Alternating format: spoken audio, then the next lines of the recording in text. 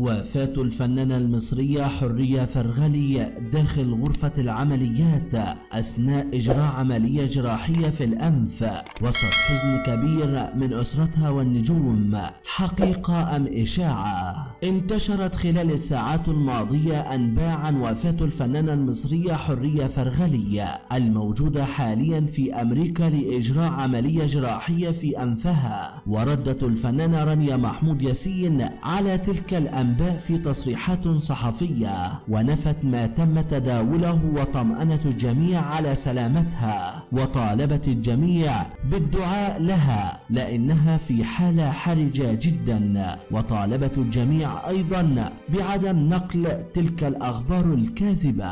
وتربط الفنانة رانيا محمود ياسين علاقة صداقة مع الفنانة حرية فرغلي الموجودة حاليا خارج مصر لإجراء جراحة عاجلة ومهمة وإنها كانت تتواصل معها خلال الأيام الماضية. وفي سياق متصل تابعت رانيا خلال مداخلة هاتفية في برنامج حديث القاهرة. والمذاع على شاشة القاهرة والناس قائلة. آخر مرة تواصلت مع الفنانة حرية فرغلي. كان منذ يومين وتحديدا قبل سفرها بساعتين واليوم جراحتها ومدتها تسع ساعات وهو ما يجعلني أشعر بالقلق خصوصا أن أحد الأطباء أخبرني أن حالة الفنانة حرية فرغلي غير مستقرة على الإطلاق وحالتها حرجة جدا. وفي سياق آخر حديث عن أبرز المحطات المؤثرة في حياة الفنانة حرية فرغلي ووفاة خطيبها قبل زفافها بساعات وإجراءها العديد من العمليات الجراحية في الأنف.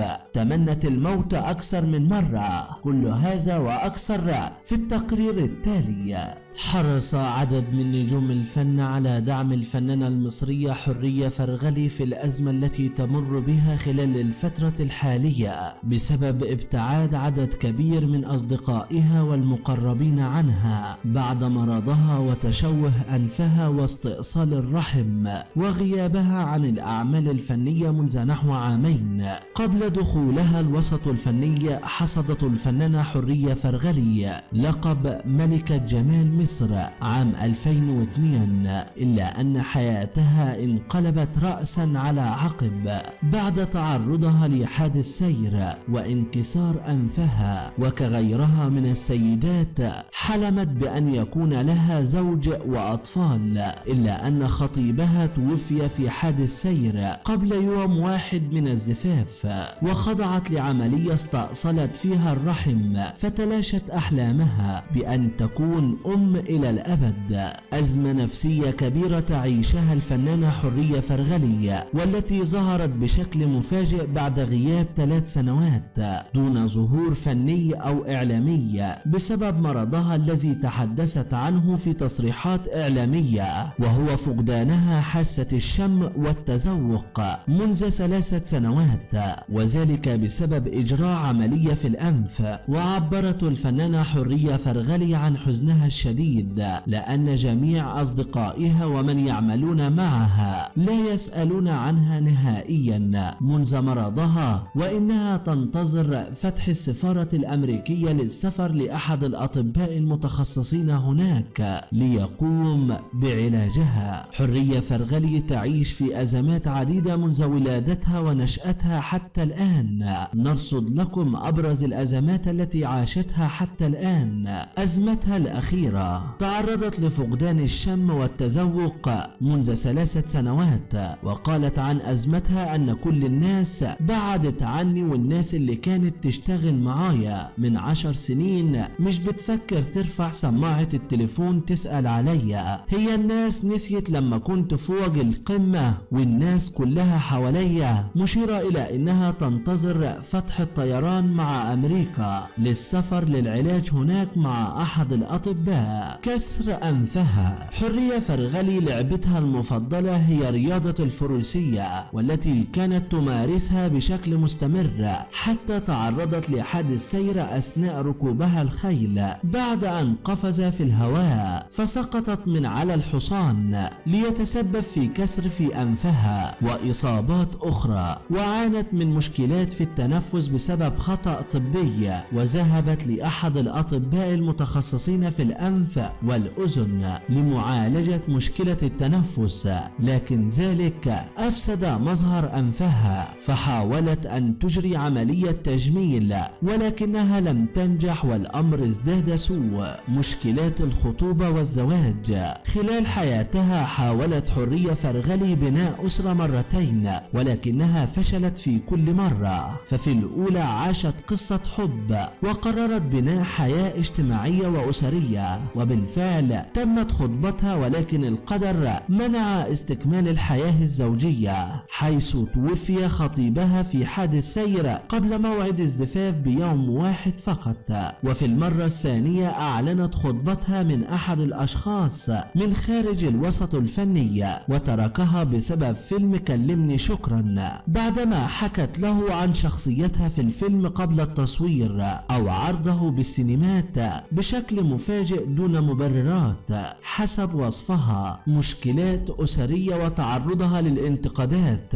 عانت حرية فرغلي من تفكك أسري منذ ولادتها حيث انفصل كل من والديها. بعد ولادتها بفترة تقترب من الشهرين وبالتالي فقدت النشأة. وسط حياة أسرية طبيعية وهادئة كالمعتاد اشتركت في مسابقة عام 2002 وبالفعل فازت بملكة جمال العالم ولكنها تراجعت وتنازلت عن اللقب بعد أربع شهور بسبب اتهامها بأنها قامت برشوة لجنة التحكيم عن طريق أحد أصدقائها المقربين وهو ما اعتبرته اتهاما في الشرف ورفضته وأقامت مؤتمرا صحفيا كبيرا ونفت هذه الشائعات وتنازلت عن اللقب. استئصال الرحم أضخم أزماتها. منذ عدة سنوات قدمت حرية فرغلي بطولة فيلم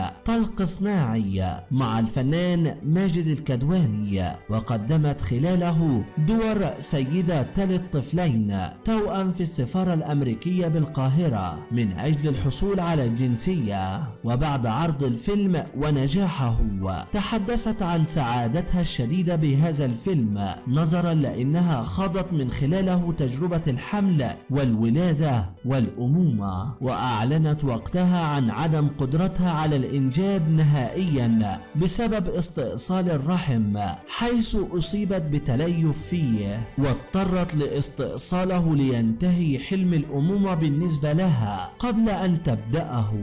ونرصد في التقرير التالي أبرز الرسائل للفنانة المصرية حرية فرغلي والبداية مع الفنان سيد رجب. نشر الفنان سيد رجب صورة تجمعه بالفنانة حرية فرغلي من أحد أعمالهم الفنية عبر صفحته الرسمية بموقع فيسبوك معلقا. أزمة وهتعدي وإنت جميلة القلب قبل كل شيء. الفنان محمود عبد الغني. نشر الفنان محمود عبد الغني عبر حسابه على موقع إنستغرام صورة مع حرية فرغلي خلال الأعمال الفنية التي تشاركا فيها معا. معلقا. كنت وستظلي جميلة قلبا وقالبا. أزمة وهتعدي إن شاء الله على خير. الفنانة أميرة العايدي كتبت الفنانة أميرة العايدي عبر صفحتها بموقع التواصل الاجتماعي فيسبوك. حرية حبيبتي بحبك قوي إن شاء الله هتقوم وهتبقى أحسن من الأول. إن شاء الله فترة وهتعدي. كلنا جنبك يا حبيبتي. الفنان مصطفى درويش. نشر الفنان مصطفى درويش عبر حسابه على موقع إنستغرام. صورة للفنانة المصرية حرية فرغلي. وعلق جميلة القلب والمظهر حرية فرغلي. كل اللي اشتغل معاكي وعرفك عن قرب. شهد لك بطيبة القلب وجمال الروح. وحبك للجميع ما تزعليش. إن الكل اتلهى لأن ده حال الدنيا وكل واحد بيعافر في اتجاه وبينشغل حتى عن أقرب ناس ليه. بس اللي لازم تعرفيه إن الكل بيحبك ومنتظرينك ترجعي أحسن من الأول. وتفاعل رواد مواقع التواصل الاجتماعي بشكل كبير مع تصريحات الممثلة المصرية حرية فرغلي حيث عبرت عن حزنها الشديد عن بعد أصدقائها والمقربين منها وتركها وحيدة ومكتئبة. وقالت الفنانة حرية فرغلي لو الوسط الفني مش عايزني قول لي وأنا هختفي خالص. مشيرة إلى إنها تعاني من فقدان حاسة الشم والتذوق منذ ثلاثة سنوات بسبب عمليات جراحية في الأنف. وأشارت حرية فرغلي إلى أن الجمهور يشتمها ويوجه لها كلام غير لائق مستهزئا من شكلها وأنفها. كما اكدت الفنانة حرية فرغلي إنها بقيت حبيسة غرفتها لمدة ثمانية أشهر بسبب شكلها وأوضحت الممثلة المولودة في الإمارات إنها ستجري عملية جراحية مع طبيب عالمي لترجع إلى شكلها السابق. لافتة إلى أن فيروس كورونا منعها من السفر إلى الولايات المتحدة لإجراء العملية وذكرت أن الفنانة لبلبة والفنانة رانيا محمود ياسين هم الوحيدتين اللتان كانوا يطمئنان عليها باستمرار وتابعت كنت بقول عايزة أروح جبري بسبب شتيمة الناس كل شوية وعبر العديد من رواد مواقع التواصل الاجتماعي عن تمنياتهم لها بالشفاء العاجل فيما عبر آخرون عن حزنهم بل بعضهم بكى بكاء شديد وطالب العديد بوقف التنمر على الفنانة المصرية كما تضامن الكثير معها وأجرت حرية فرغلي عدة عمليات تجميل لأنفها وذلك بعد أن وقعت من على الحصان أثناء ممارستها هوايتها بركوب الخيل وتعرضت لكسر فيه حيث عشقت الفروسية. الفنانة حرية فرغلي خطيبها مات قبل الفرح بيوم واستأصلت الرحم. كنت بحب بس خطيبي توفي قبل الفرح بيوم. مفيش حب خالص وقلبي ما بقاش بيدق الحد كنت بتمنى أكون أم بس خلاص استأصلت الرحم. عملت تسع عمليات تجميل وقلبي وقف أربع دقايق. اتعذبت كتير وما كنتش بعرف أتنفس خالص. عايزة راجل يراعي ربنا فيا وأكون مالي عينه. هذه أبرز المحطات المؤثرة في حياة الفنانة المصرية حرية فرغلي. انتهى الفيديو. لا تنسوا الإعجاب بالفيديو والاشتراك بالقناة وتفعيل زر الجرس ليصلكم كل جديد. شكرا على حسن المتابعة.